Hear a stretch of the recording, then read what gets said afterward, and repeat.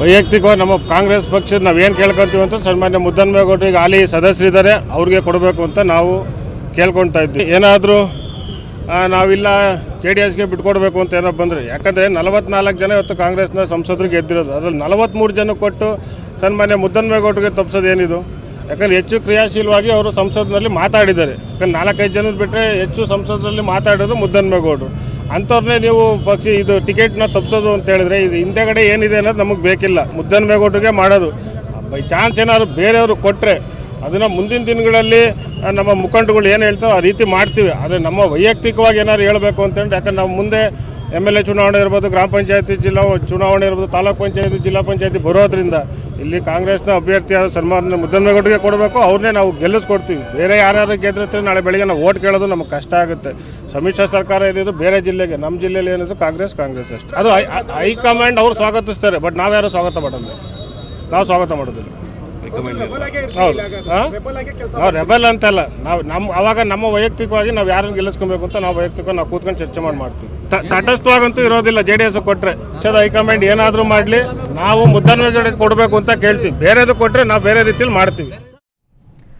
S ಈ ಏನಷ್ಟು ಮಾಹಿತಿ ನೀಡ್ತಾರೆ ನಮ್ಮ ಪ್ರತಿನಿಧಿ ಮಹಂತೇಶ್. ಮಹಂತೇಶ್, ತುಮಕೂರು ಜೆಡಿಎಸ್ ಪಾಲಾಯಿತು. ಆದ್ರೆ ಅಲ್ಲಿನ ಕಾಂಗ್ರೆಸ್ ನಾಯಕರು ಸಿಡಿದೇಳ್ತಾ ಇರುವಂತಹದ್ದು. ದೊಡ್ಡ ತಲೆನೋವು ಇದು.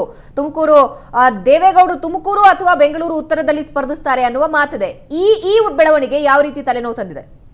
ಆ ಭಾವನ ಏನು? ಈಗಾಗಲೇ ತುಮಕೂರು ಕೂಡ ಏನು, ತುಮಕೂರು ಲೋಕಸಭಾ ಕ್ಷೇತ್ರ ಏನಿದೆ, ಇದನ್ನ ಜೆಡಿಎಸ್ಗೆ ಬಿಟ್ಕೊಳ್ಳಲಾಗಿದೆ ಅನ್ನೋದು ಸದ್ಯರುವಂತಹ ಒಂದು ನಿರ್ಧಾರ. ಆದ್ರೆ ಈ ಒಂದು ನಿರ್ಧಾರಕ್ಕೆ ಏನು ಸ್ಥಳೀಯವಾದಂತಹ ಮುಖಂಡರು, ಕಾಂಗ್ರೆಸ್ನ ಮುಖಂಡರು ವಿರೋಧನ ವ್ಯಕ್ತಪಡಿಸಿದ್ದಾರೆ. ಯಾಕೆಂದ್ರೆ ಹಾಲಿ ಇರುವಂತದ್ದು ಮುದ್ದನಮೇಗೌಡರು ಗೆಲುವನ್ನು ಸಾಧಿಸಿದ್ದಾರೆ. ಗೆಲುವು ಇರುವಂತಹ ಕ್ಷೇತ್ರ, ಅದರಲ್ಲೂ ಕಾಂಗ್ರೆಸ್ ಏನು ಮುದ್ದನಮಗೌಡರು ಸಾಕಷ್ಟು ಪ್ರಬಲವಾದಂತಹ ಅಭ್ಯರ್ಥಿ ಅಂತವ್ರನ್ನ ಬಿಟ್ಟು ಜೆಡಿಎಸ್ಗೆ ಕ್ಷೇತ್ರ ಬಿಟ್ಟಿದ್ದೆ ಆದ್ರೆ ನಮಗೆಲ್ಲರೂ ಕೂಡ ತೊಂದರೆ ಆಗುತ್ತೆ. ಮುಂದಿನ ಏನು, ಹಲವು ಚುನಾವಣೆಗಳು ಇರುತ್ತೆ. ಏನು ಜಿಲ್ಲಾ ಪಂಚಾಯತಿ ಇರ್ಬೋದು, ಮತ್ತೆ ಮುಂದಿನ ಗ್ರಾಮ ಪಂಚಾಯತಿ ಇರುತ್ತೆ ಸ್ಥಳೀಯವಾದ ಚುನಾವಣೆಗಳೆಲ್ಲವೂ ಕೂಡ ನಮ್ಗೆ ಸಾಕಷ್ಟು ತೊಂದರೆ ಆಗುತ್ತೆ. ಹಾಗಾಗಿ ಕಾಂಗ್ರೆಸ್ಗೆ ಇದೊಂದು ಹಿನ್ನಡೆಯಾದಂತಹ ಆ, ನಡೆಯ ಒಂದು ಕ್ರಮನ ಕೈಗೊಂಡಿರುವಂತದ್ದು ಹೈಕಮಾಂಡ್ ಬೇರೆ ರೀತಿಯಾದ ಕ್ರಮ ಕೈಗೊಂಡಿರ್ಬೋದು ಅವ್ರು ಯಾವ ರೀತಿಯಾದ ಮೈತ್ರಿಯನ್ನ ಬೇಕಾದ್ರೂ ಮಾಡ್ಕೊಂಡಿರ್ಬೋದು. ಆದ್ರೆ ಸ್ಥಳೀಯದಲ್ಲಿ ನಾವು ಕೂಡ ಅದನ್ನ ಒಪ್ಲಿಕ್ಕೆ ತಯಾರಿಲ್ಲ. ನಾವು ಅದನ್ನ ವಿರೋಧಿಸ್ತೀವಿ. ಯಾಕೆಂದ್ರೆ ಇಲ್ಲಿ ನಮ್ಮ ಅಸ್ತಿತ್ವವೇ ಮುಖ್ಯ ಆಗುತ್ತೆ. ಒಂದು ವೇಳೆ ನಾವ್ ಈಗ ಏನಾದ್ರೂ ಜೆಡಿಎಸ್ಗೆ ಏನು ಬೆಂಬಲ ಕೊಟ್ಟು ಅದನ್ನ ಬೆ- ಅವ್ರಿಗೇನಾದ್ರೂ ಒಂದು ರೀತಿಯಾದಂತಹ ಗೆಲುವಿಗೆ ಸಹಕಾರ ಕೊಟ್ಟಿದ್ದಾದ್ರೆ ಮುಂದಿನ ದಿನಗಳಲ್ಲಿ ಈ ಒಂದು ಗೆಲುವು ಅಥವಾ ಈ ಒಂದು ಬೆಂಬಲವೇ ನನ್ ನಮ್ಮ ಪಾಲಿಗೆ. ಅಂದ್ರೆ ಕಾಂಗ್ರೆಸ್ ಸ್ಥಳೀಯರ ಪಾಲಿಗೆ ವಿರೋಧ ಆಗುತ್ತೆ ಮುಳ್ಳಾಗುತ್ತೆ ಅನ್ನೋದು ಒಂದು ಆತಂಕ ಇರುವಂತದ್ದು.